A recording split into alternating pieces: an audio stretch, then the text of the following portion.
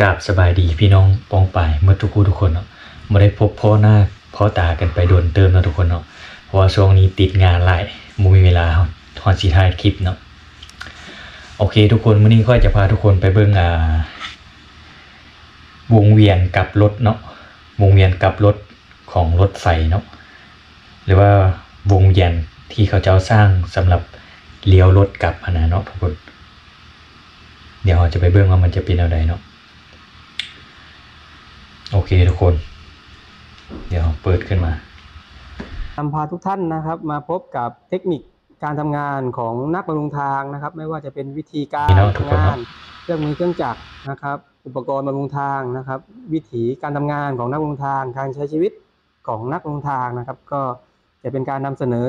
เพื่อจะพลิกนะครับพระเอกนะครับ หรือว่าผู้ปิดทองหลังพระนะครับ จากหลังจอนะครับมาสู่หน้าจอนะครับ วันนี้นะครับเราจะพามา พบกับอุปกรณ์นะครับ หรือว่าเครื่องมือนะส่วนหนึ่งนะครับที่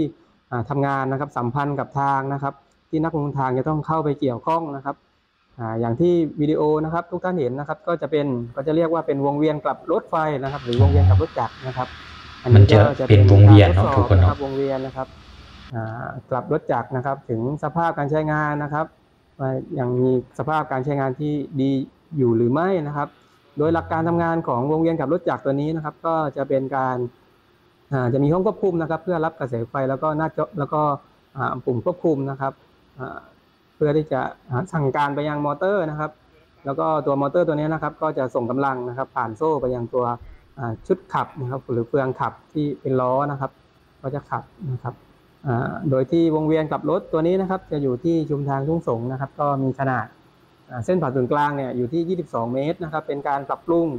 จากของเดิมนะครับ ที่มีเส้นผ่าศูนย์กลาง 18 เมตรนะครับ แล้วก็มีสภาพทรุดโทรมนะครับ ปัจจุบันก็เปิดใช้นะครับให้รถจักรนะครับ หรือว่ารถบำรุงทาง เช่นรถรบนนะครับ เพื่อที่จะกลับทิศทางของขบวนรถนะครับ จากด้านหนึ่งไปอีกด้านหนึ่งนะครับ หรือว่าโอ้กลับโหมันจะเป็นแบบรางวงเวียนหมุนเลยเนอะส้หนึ่งนะครับเพื่อจะเป็นหมุนให้ไปใช้กับรางหมัน้นครับแล้วก็เลยใช้เนาะทุกพื้นคนที่ ในพื้นที่จำกัดได้นะครับ เอามีน้องมาอัเนี่ก็ยจะเป็นสภาพปัจจุบันนะครับอ่าก็เอามุดเข้าไปนี่จะเป็นการทดสอบนะครับ ก็ปัจจุบันนะยังสามารถที่จะใช้การได้ดีอยู่นะครับอันนี้ก็โดยที่สะพานกลับรถตัวนี้นะครับ หรือว่าวงเวียนตัวนี้จะมีเป็นแท่งบาร์นะครับแท่งสีแดงๆนะครับ เพื่อเมื่อกลับรถไปแล้วนะครับ ก็จะทำการล็อกนะครับ เพื่อให้รถสามารถผ่านไปอ๋อมันจะหมุนมาได้นะครับใส่กับรางมันเลยเนาะก็จะเป็นมันจะออกจากรางตัวนี้แล้วก็หมุนไปใส่อีกรางตัวหนึงเนาะครับโอ้โห ทุกคนสุดยอดเนาะความสามารถของคนไทยเนาะทุกคนเฮ็ดได้หลายแนว แม้ว่ามันจะเป็นแบบเฮาไปถึงจุดปลายทางแล้วก็ จะเลี้ยวกลับเนาะมันจะไปเข้าวงเวียนนั้นแล้วก็